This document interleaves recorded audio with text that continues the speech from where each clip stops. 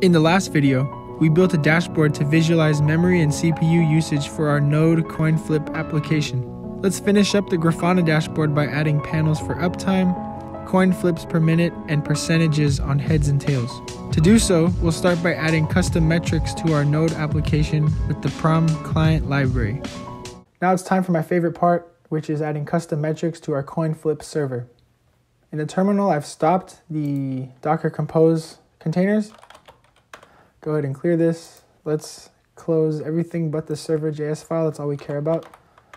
So uh, what I'm going to do now is I'm going to install the library which lets us define custom metrics. So you just do npm i prom client and then save like so. This will take a minute to install.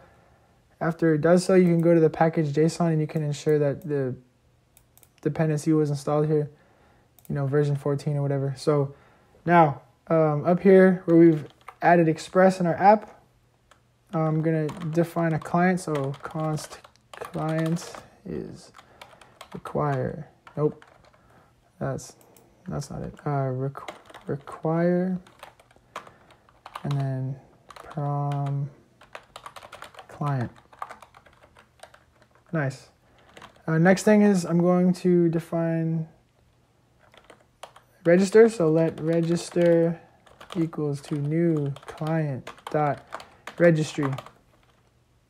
Next, we're going to define our custom metrics. And the things we want to keep track of is how many times we've got heads, how many times we got tails, and the total number of coin flips. So, uh, not coin, huh. const heads count is just new client. We'll do a counter. There's many different types. You can read up on this on the prom client GitHub repo. There's many different types of metrics, but we're gonna do a counter. So define a counter uh, inside the, I guess, you know, function call to make a new object. Uh, pass in a, you know, just throw in some curly braces and then we're gonna give it some settings here. So name, heads count, like so and then help just means like the description. So number of heads. Nice. I'm going to do the same thing for tails count. And that's just the same exact thing as heads count, right? It's just tails now. So I'm just changing this to tails. So you can see heads and tails. It's the same thing. I just changed a little bit of the wording around. And then last thing is we're going to do flip count. So number of we'll say flip count and then number of flips right here for the metric. Cool, so we've defined three metrics like so. Um, now we're gonna say uh, register, register dot register metric, heads count. What do you think comes next? Yeah, you guessed it. Uh, tails count, and then flip count. Nice. And then finally, uh, register dot set default labels. It just means like what met- what are the metrics going to be labeled by, kind of. If that makes sense. Um, and it's going to be under the same thing that we did before, which is just app, um, app, and then uh, coin API, like so. Very cool. Um, let's make this small. Okay, so good there. Uh, a couple other things we're gonna do is client, and then we're going to collect default metrics. So, you know, this is uh, any other thing that you feel like you want to grab on the Grafana side. Pass in the register, which we defined up here. Okay, so we did that. Collected the default metrics. We did our custom metrics. Now we need to also expose a endpoint called metrics, which gets hit by uh, Prometheus to grab you know, how many times we flipped and the results of each flip over time. So we'll say metrics, just a get request, async callback, um, request response. Um, and then inside of our callback, we're to just do res dot, nope, yeah, response dot set header like so the content type. Yeah, set the content type, and it's going to be the same thing as the re- register dot content type.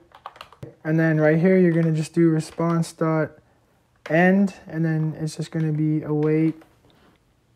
This is why it's async because we're going to grab all the metrics that we care about. So we're going to do await register dot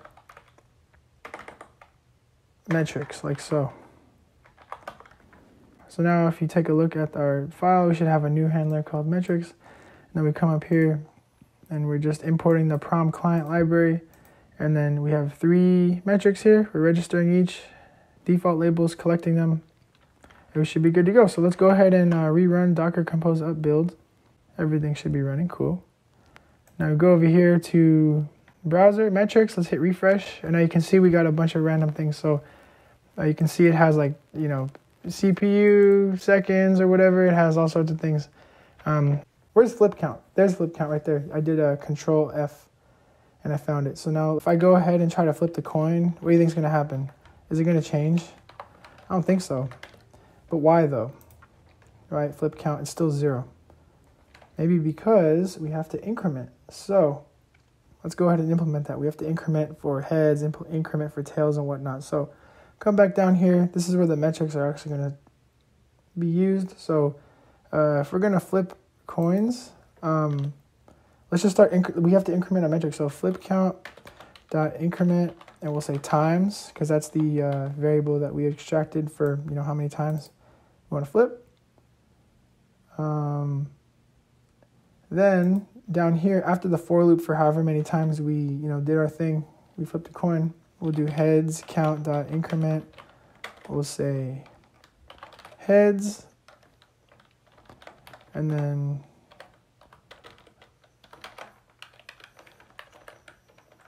shout out VS Code for this. Yeah, tails count increment tails, right? So now we should actually see a difference in the metrics as we do things. So go ahead and stop it. All right, let's go ahead and rerun it. Well, we got an error uh, I, I, you can't really increment, well, not really, but you just can't at all. You can't increment with that, you know, just raw value times. We have to convert it to a number. So let's go ahead and save. What I did on line 35 was like I casted it to a number. So let's go ahead and rerun it. it should work now. There you go. So I refreshed. It looks like it's working. We got the usual result. If I refresh here, boom. You can see we got 10 flips, 4 tails, and 6 heads which is definitely what we were expecting. Let's do it again. You can see we got 11 heads, 9, and 20, right? Because we flipped it 10 twice. Very cool, very cool. So we've been able to expose metrics using this endpoint. Now it's time to allow Prometheus to see them. So let's go back into our VS Code or you know whatever text editor you like. Go to prometheus.yml, YAML, and we're going to add one more job here we were scraping from cAdvisors. Let's do job name uh, is, uh, you know, coin API and then static configs. It's really the same thing that you saw earlier. So let me just make some space here. Uh, targets is going to be coin API 5000. Cool. So save it. Looks good. Let's stop everything and rerun it real quick. And then we'll move on to our Grafana dashboard where we will incorporate all of these cool custom metrics. So rerun everything. Looks good. It's running. Go back here. Let's go ahead and add in our custom metrics for our CoinFlip API. First one I'm going to add is a panel to track uptime. So I'm just going to call it uptime on the right side. Change our data source as always to be Prometheus. And this metric is just going to be time minus process CPU seconds total for the job that is Coin API. You can see we're getting, you know, some numbers here. Now, if I change this, let's go to units Let's do it by seconds and then we'll go change this to stat. It says it's been up for 52 years, so that means I probably did something wrong. Process, oh, okay, there you go. Process. Oh man, where's my suggestion? Process. Trying to not, I don't want to type it out, I'm, I'm lazy. So process start. There it is, okay. Yeah, I wish it was running for 52 years. Most reliable app ever. Okay, so there we go. Now that looks right. So if we get rid of the threshold, there it's green.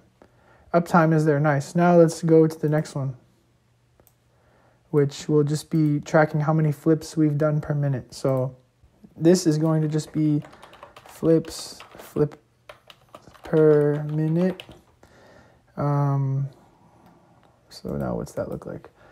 Uh, remember, we registered our metrics in the Node app. So now if you do uh, flip count, see how it automatically came up suggested?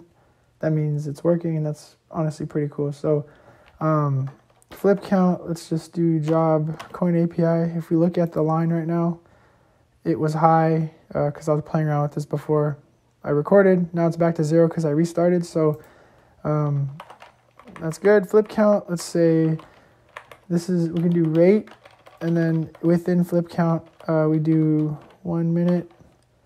So that's, you know, and then multiply by 60, and then that should get us the, yeah, about per minute metric of what's going on. Now let me slightly change this visualization to be a gauge. Um, and then I'll get rid of the threshold because we don't need, like, you know, no point turning red for any reason. So uh, apply, good. So no flips per minute yet. Now let me add the two other metrics and then we'll go ahead and test it out. Now, uh, let's just do, let's do two percentages. So it's going to be tails per flip and then heads per flip. So this one will be tails per flip, Prometheus. Uh, tails per flip is going to be tails count. You can see it auto suggested again, which is awesome. Job, coin API divided by flip count.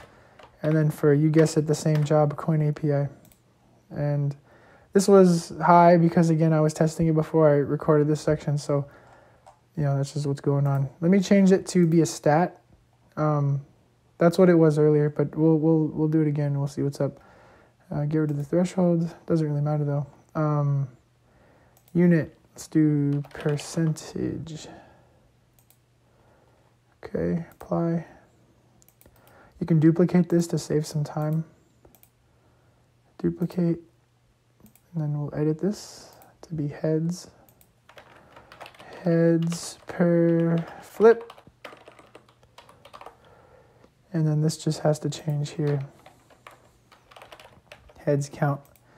Nice. Okay, so apply it. Let's do it from scratch. So what I mean by this is uh, let's save the JSON model and then we're going to rerun everything to make sure that you just you run it and it works. So I just pasted the JSON from settings. You go to JSON model. Let me change this from saying new dashboard to coin flip API dashboard or something. Um, if I do update this, then that means I actually have to resave the JSON model. So just resave it one more time. You can see on line 459 my title updated here. So save it. Let's stop this. If we really want to start with a, a clean slate, we can remove all of the stuff that Grafana wrote in the data directory. So we'll do rm dash r Grafana data star. Okay, so after we do, after we remove the data, um, we're gonna remove the, uh, let's just remove all the containers. Why not? Let's just start from scratch. So um, you don't have to do this. I'm just doing it to prove to you that like you can do it from scratch and the metrics won't be there and it'll all just work out the box. So uh, docker rm and then you just do docker ps dash aq. This is just a cool bash. Uh, you, you pass in all the IDs from here and docker removes them all. So if you do docker ps-a, it's empty. So docker compose up. We're starting completely from scratch. let this build. This will take a minute. Okay, it's running.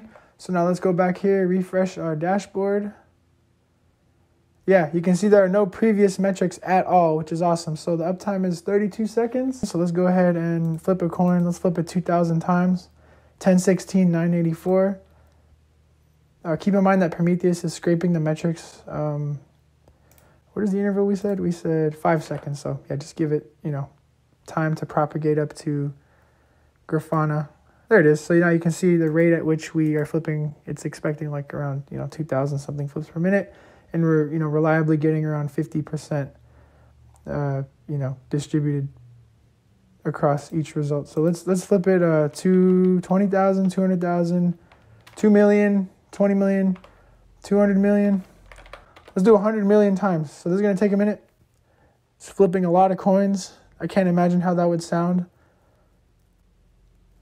like all the coins you know being flipped and falling on the ground It'd be super loud so Nice. Get got the result and give it a second. Let's see what happens. We should see stuff spike. Yep, this spiked right here. This also spiked and the number, you know, ballooned. Um, and we got you know, around 50%. So our coin flip API is pretty reliable after adding monitoring. Hope you learned something. This is a lot of fun. See you later.